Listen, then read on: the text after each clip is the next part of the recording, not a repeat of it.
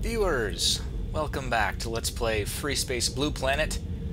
When we last left off, the Vishnans, Vishnans, Vishnans, Visions?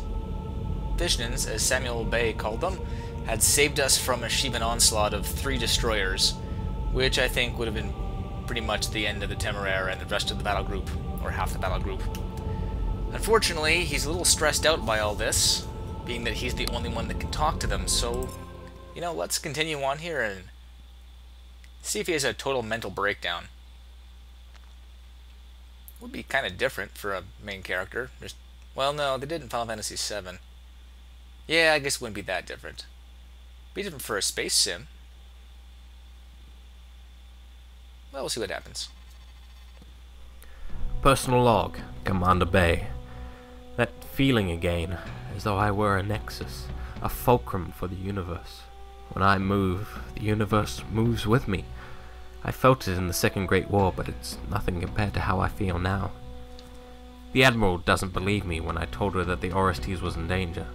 She wants to bring the fleet back up to full strength before organizing an expedition to head back to Delta Serpentis.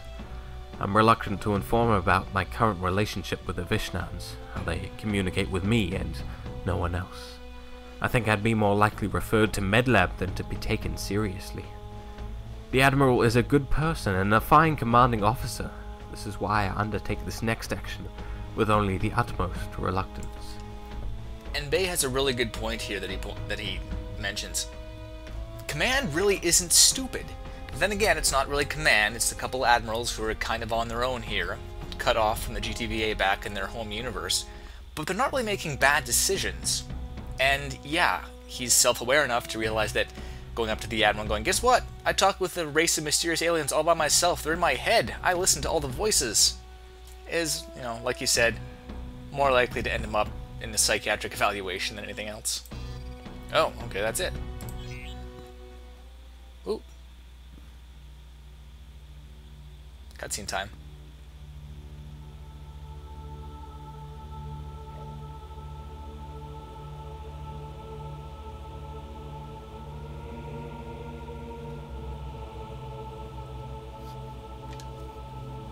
No weapon, okay. Approach Sacred Keeper. No turning back now, too many lives depend on what I do. What the heck is that? Temeraire Shuttle 6.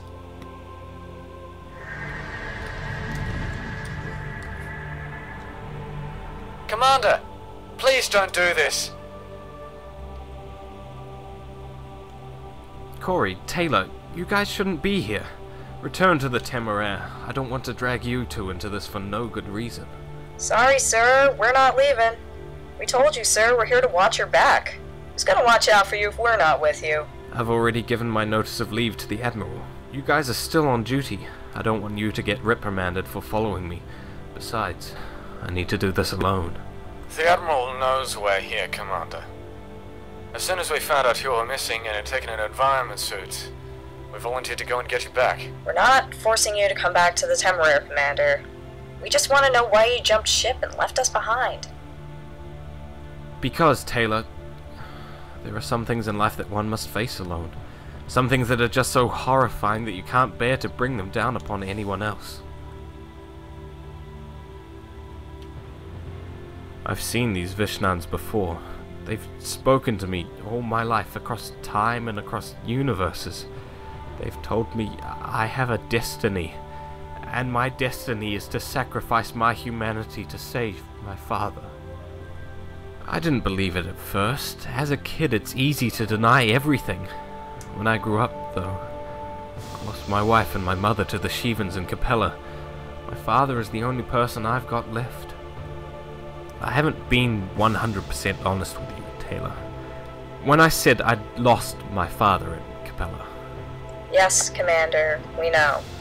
Admiral Bay, he's in danger, and you are the only person who can save him. That's not just your father, is it, Commander? It's also the 25,000 people that we left behind in Delta Serpentis. Let us come with you, Commander.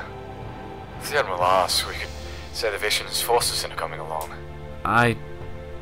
I don't know what to say. Well, yes would be a good start.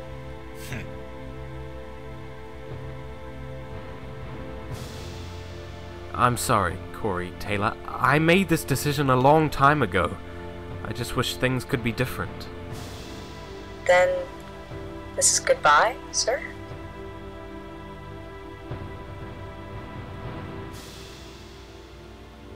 Yes, Taylor, this is goodbye.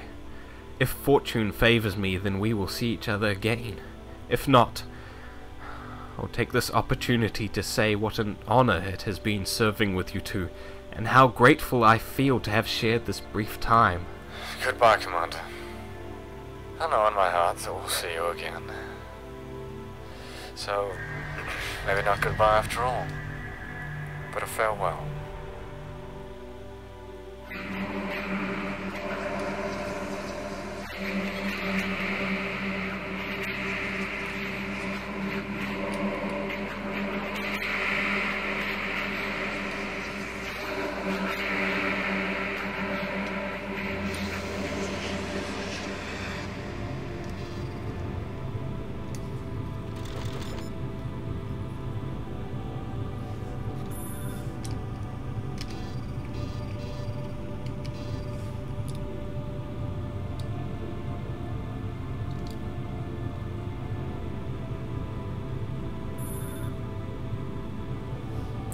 This is it.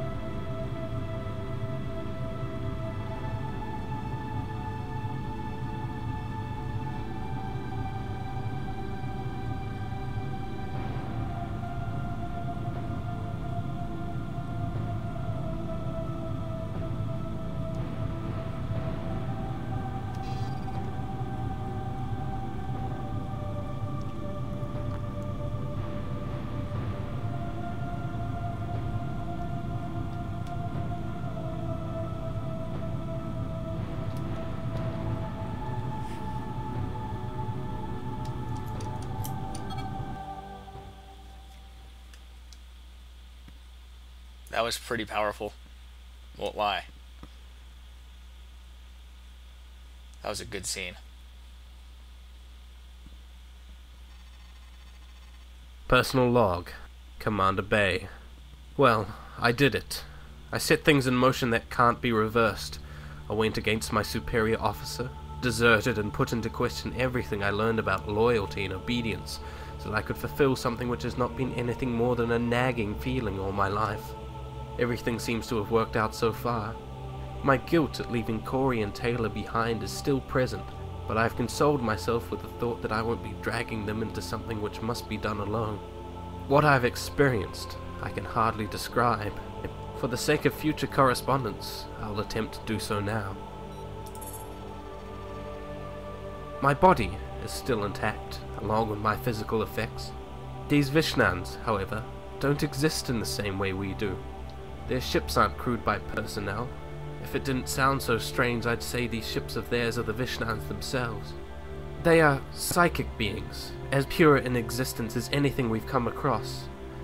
To call them energy beings would be to miss the point. They inhabit this universe in much the same way that we would inhabit a room. They exist in some other plane, far removed from our material existence. Their ships are vessels to carry their will, nothing more. When I came aboard, the Vishnans put my body into suspension. I will need little in the way of nourishment or sustenance. My psyche has been transplanted into a ship of my own. I don't experience reality as they do, but in essence, I now have a ship to carry out my will. Before this, the Vishnans have had no knowledge of my father. It is strange. It's almost as though my memories have unlocked specific aspects of the universe which had escaped their notice previously. They now know about the GTVA, they know how we entered this universe. Because of this, they have a connection with everyone I have ever known and met. They don't see in abstracts of time and space anymore. In a way, I think I have shown them what it means to live as a material being. Well, I think I'm going to call the video at this point here, before we continue on to what's likely the next mission. This is an unexpected turn, to say the least. Um, I guess I get to fly Vision ships now, that's kind of cool. But, again, I'm just going to quickly give my props out, if they ever end up watching this, to whoever designed the music for this mod. It just, incredibly fitting. Voice acting was solid, that last playable cutscene was great. So I'm excited to see what happens next. So we'll see you then, viewers.